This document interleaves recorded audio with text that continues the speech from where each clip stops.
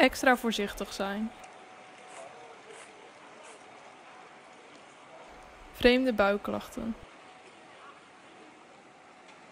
Een brandend gevoel. Zeldzame vorm van pijn. Met een onomkeerbaar effect.